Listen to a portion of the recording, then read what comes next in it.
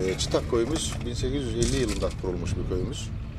1870'lerden bu yana Çıtak köyümüzde köylüler tarafından yap, e, üretilmiş bir narımız var. Çok eski yıllara dayalıyor. Ama kendine has narı olmasına rağmen kendini çok tanıtamamış. Biz de Ali Ağa Belediye'mizde görüşmemizde köyümüzde e, bunların hem tescil işini hem patent işini hem de bunları daha da çoğaltalım diye Ağa Belediye'mize müracaatımızı yaptık.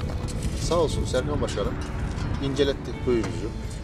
E, köyümüzde var olan bu narı daha da çoğaltıp daha da çevreye tanıtıp e, bir şişeleme, e, patent gibi e, patent adı altında doğal nar eşkisini üretip piyasaya sürmek istiyoruz.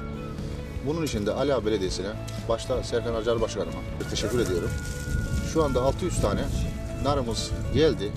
E, köyümüzün girişinden e, köyümüzün merkezine kadar e, 2500 metrelik yerin yolun kenarına komple narımızı dikiyoruz.